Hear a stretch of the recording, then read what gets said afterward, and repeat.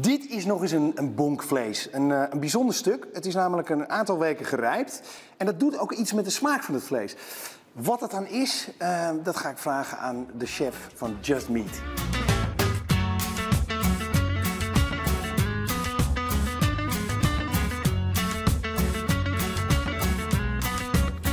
George, Kort. Goeiedag. Goedemiddag. Hier kan je wel wat mee, denk ik, Dat is een heel mooi stukje vlees, ja. Daar kan ik zeker wel mee, ja. Wat is dat? Dry aged vlees, wat is dat dan? Dry aged vlees, dat is eh, in een rijpkast gebeurt dat. Je doet twee dingen. Je laat het vlees besterven en je onttrekt vocht uit het vlees. Eh, hoe minder vocht, hoe meer de smaak, een krachtige smaak.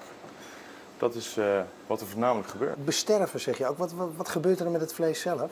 Enzymen komen weer tot rust, het spierweefsel breekt, breekt af.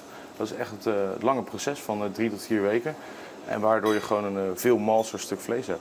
Wat gaan we ermee doen? Wat ga jij ermee doen? We gaan hem eerst uitbenen en dan eh, gaan we hem op de barbecue gooien.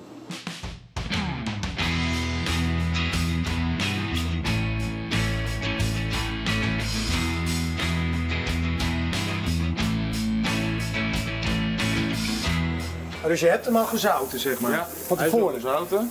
Zo. En eh, je moet er van tevoren al zouten. Eh, ook nazouten.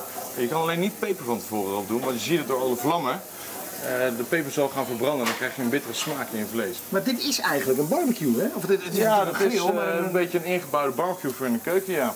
En waar moet je verder rekening mee houden als je, als je zo'n flink stuk gaat barbecuen? Als je dat op, op een barbecue, als je hem dicht roostert en je gooit hem dicht in je stukje barbecue naar, naar 200 graden, dat hij echt heel heet wordt, dan gebeurt er niks mee. Gaat het mis? Nee, ja, dan, dan stoot hij zoals hitte af. Maar dan dan, komt die warmte niet binnen. Nee, op een bepaalde manier eh, gebeurt er gewoon echt niks meer. Dus het beste wat je kan doen is, eh, ja, wat we eigenlijk hier doen, hè? je schroeit hem dicht en dan op een rustig plekje, dan laat je hem liggen en dan dat doet het vlees het werk van zichzelf. Hè? Dan trekt het vanzelf erin.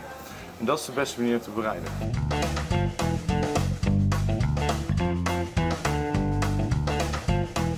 Alsjeblieft. Goedemiddag. Goedemiddag. Zo, dat, eh, dat ziet er exotisch uit. Klopt. We gaan eh, bij het stuk vlees wat je hebt uitgezocht, gaan we een eh, gin serveren dit keer. Dus gin, eh, een product wat heel breed inzetbaar is. Eh, veel smaakpalet in zich heeft. Dus het is fris, het is kruidig, eh, het heeft zuren. Je kan er eigenlijk heel veel kanten mee op. En zeker in de wijn-spijscombinatie is gin een heel mooi product. Ma- Mag ik hem nu al proeven of moet ik, Ik even wachten op het vlees? Nee, ik zou hem nu alvast gewoon rustig gaan, eh, wat, eh, gaan nippen ervan. En dan kom ik zo het vlees bij je brengen.